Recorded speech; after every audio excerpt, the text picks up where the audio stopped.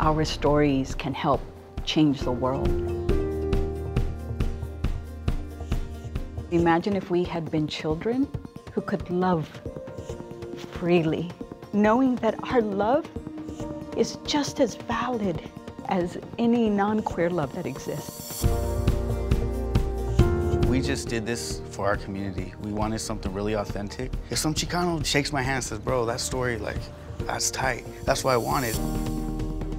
People come up who are not of the Latino culture and they say, that's me and my mother. That's me and my parents. I wanted to make something that my mother could enjoy. I wanted to stay true to my upbringing and my experience.